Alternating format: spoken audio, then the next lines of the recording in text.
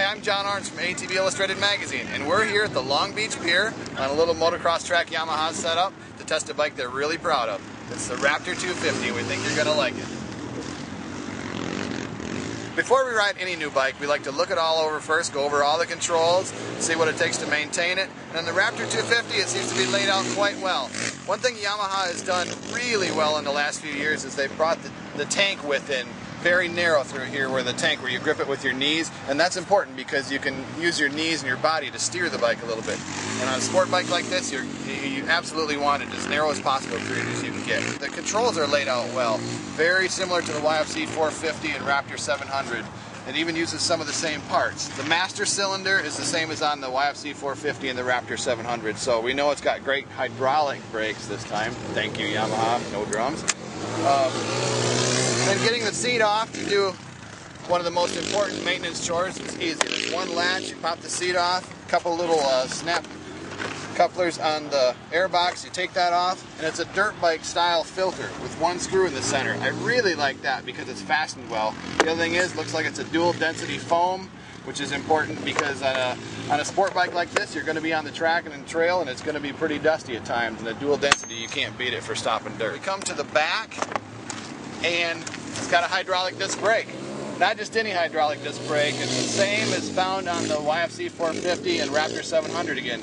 Same diameter uh, rotors, and that's fantastic because we'll have good stopping power with that.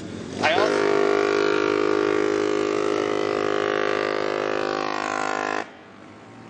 That's the horn of the Queen Mary you just heard. and they must have saw us filming and wanted to be in video or something. But anyway, one thing we really like about this bike, the chain adjustment system. It's got that super easy eccentric style adjustment. You loosen a couple bolts here, you stick a pin in the end, roll the bike, and let it do the work to adjust the chain.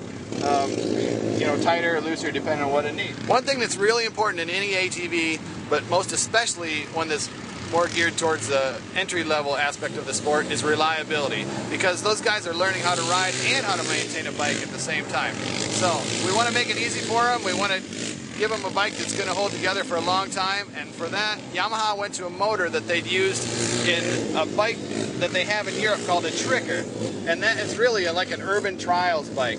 Um, it's air cooled, so it's going to be extremely reliable, yet it's got good low end torque. And in fact, when Yamaha brought this motor and introduced it to the ATV chassis, what they did is they had to go through the gearbox, uh, change the gearing a little bit, beef it up for the added load of an ATV, because an ATV has so much more load to carry around than a motorcycle. It looks to be pretty easy to maintain. There's a little oil filter cover on the other side. Um, air cooled, but it does have an oil cooler hidden up here underneath the cowling. So there's a couple oil cooler lines that come off of the other side of the motor. Also, it's just got the traditional carb, no EFI on this bike. You know, they want to keep it simple and cost effective. Since this was an all-new bike, Yamaha needed a new frame for it, new chassis as well. The blaster frame and chassis wasn't going to work for this one. So they designed a completely new unit, new suspension. Um, the shocks are adjustable. It's not quite like the the YFZ 450 shocks, but you do have some adjustment with it. But a great feature on this bike is the brakes. It's got the same rotors and calipers in the front and back end as the Raptor 700 and the YFZ 450, so it should stop great. And that's a, that's a big point with us because sport riders, you need good brakes on. The suspension on this bike, being all new and maximized the way Yamaha did it, gets a, quite a bit more suspension travel than anything else in the class. But there's an even bigger advantage over other bikes in this class, the weight. This thing is 15 pounds lighter than the Blaster was, which was by far the lightest bike in the class already. So this bike weighs typically 50 to 60 pounds lighter than other bikes in the class, primarily because a lot of them have shaft drive, this one's chain. It's just maximized for, for, for performance. When we look for a sport bike, we look for something that's easy to handle, we can move around in the air, has good brakes, good power, and the Raptor 250 has it all. Flies really well, but when you come in hot to a corner, you can hit the brakes and it'll lock up, and it's so light you can just push it right around. And then when it comes time to power out of the corner, it's got pretty good uh, bottom end. It's not like a Raptor 700, but it's not ever going to be. But it's powerful all the way through the power band, so I think there's a lot of things going for this bike, and I think you're going to like it.